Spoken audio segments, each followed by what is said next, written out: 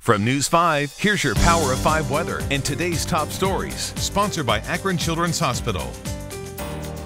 All right, everyone. I am Mark J. Weather on Instagram, Twitter, and Snapchat. Uh, temps tomorrow at 7 a.m.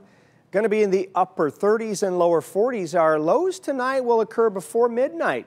Not bad. Temps begin to rise. Mostly cloudy skies all night should be dry.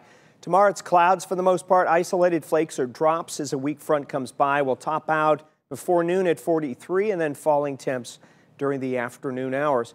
For the rest of your work week, we're going to take a look at it here. Come on, there we go.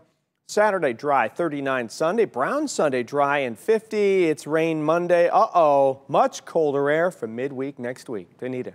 Thank you, Mark. Here's a look at today's top stories. A local priest under arrest for child porn. Investigators search Father Robert McWilliams' living and office spaces at St. Joseph's Parish in Strongsville in an investigation involving inappropriate text messages out of Geauga County.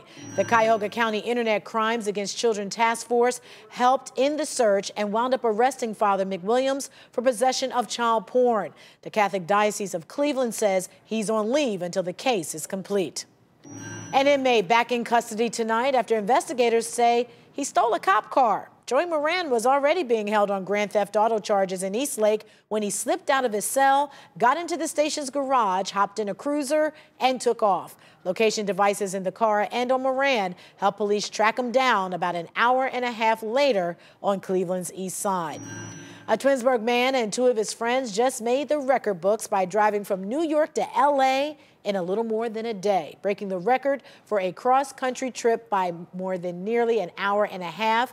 The race is called the Cannonball. Doug Tabbutt and the guys drove a specialized Mercedes that you see here, and they topped out at 193 miles per hour. That's fast. They had an average speed of 103 miles per hour. For the latest news and weather, go to news5cleveland.com or open the News 5 app. Sponsored by Akron Children's Hospital.